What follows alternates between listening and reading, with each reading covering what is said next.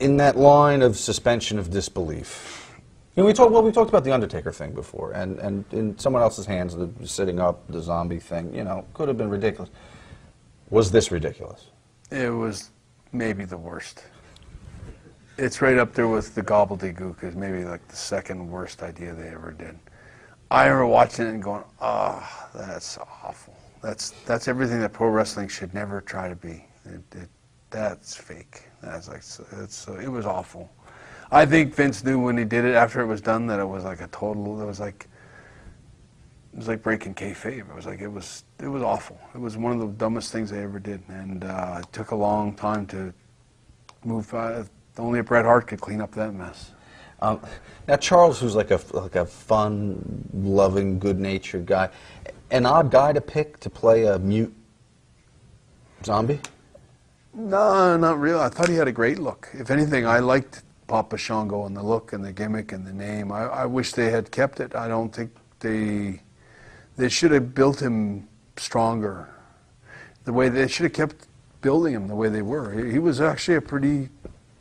I thought he was a good worker. uh, well, good worker, but but Charles has a has a, great magnetic personality. It, maybe they weren't taking. it. Maybe they could have had. Well, they could have got a, maybe a mouthpiece for him if that's the case. But uh, there's you know he, he was that kind of a freaky monster that he could have easily had a mouthpiece. That's kind of where they that's where they fit best is with a guy like Papa Shango.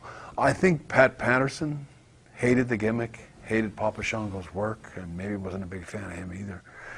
And um, kind of shut that idea down when it was still kind of just kind of getting the wheels up and running still. And that that thing with Warrior was almost killed him off. Like it was a real, it left a bad taste. It made everyone groan and turn wrestling off. Like it was awful.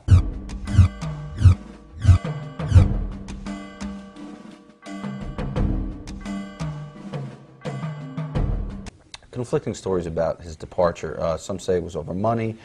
Uh, some say they wanted him to job to Nailz. And he didn't want to do that.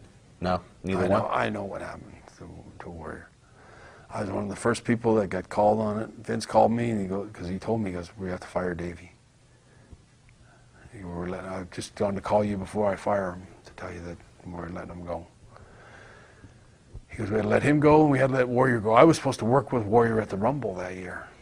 Oh, the Rumble. I thought it was going to be WrestleMania. It was, no, it was supposed to be the Rumble. Okay. And he was going to put. Vince said you put beat him with a sharpshooter right in the middle. Is what Vince told me. And I remember going, wow, that'll be huge if it happens. And then like it was a week later, they tell me that um, Warrior and Davey were um, buying steroids or growth hormone or something from some guy in Europe, and um, he was shipping it to them or something like that. But um, anyway, he got busted. The guy in England got busted, and Warrior panicked. And I remember he, he panicked and without telling Davey, he called Vince and said, uh, "I just wanted because Vince had the trial coming up." Mm-hmm. So I thought I'd better tell you this just in case. But uh, this guy that was we were getting our uh, steroids from, he's got our name on a list and all that stuff. But anyway, he got busted yesterday and they put him in jail. And anyway, he goes, there might be some kind of uh, follow from it. And Vince goes, you guys are like toxic. I gotta, you're mm-hmm. done. You're done. You're, and you're both fired now. And he fired Warrior, and he fired Davey, oh, just like that. And I got the call before Davey got told. Mm. And that's how it came down, for sure.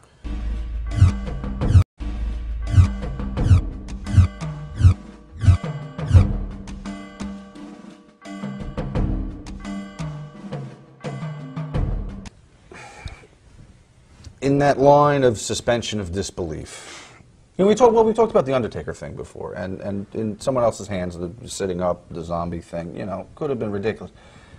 Was this ridiculous? It was maybe the worst. It's right up there with the gobbledygook as maybe like the second worst idea they ever did. I remember watching it and going, "Ah, oh, that's awful. That's that's everything that pro wrestling should never try to be. It, it, that's fake. That's like it's, it was awful. I think Vince knew when he did it after it was done that it was like a total. It was like it was like breaking kayfabe. It was like it was it was awful. It was one of the dumbest things they ever did, and uh, it took a long time to move. Uh, only a Bret Hart could clean up that mess. Um, now Charles, who's like a like a fun, loving, good-natured guy, an odd guy to pick to play a mute zombie. No, not really. I thought he had a great look. If anything, I liked Papa Shango and the look and the gimmick and the name. I, I wish they had kept it. I don't think they they should have built him stronger.